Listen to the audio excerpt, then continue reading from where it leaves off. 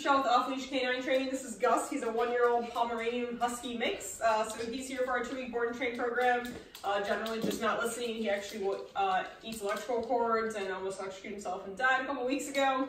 Um, also digging house plants, just general not listening. Um, so let's just see what he's willing to do for us here on day one. Gus, come. Gus, come. Come. Gus, come. Good job, buddy.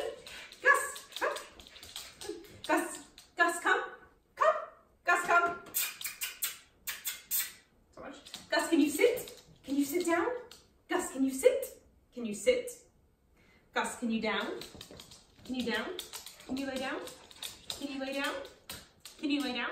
No. Gus, can you place? Place? Place? Gus?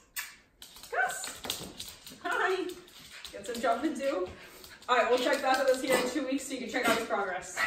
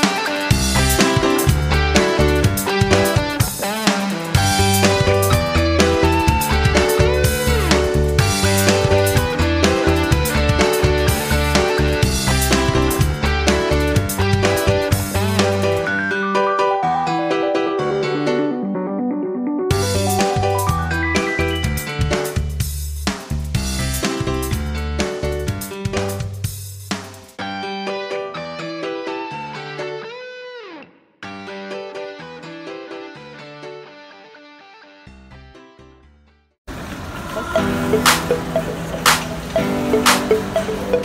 you.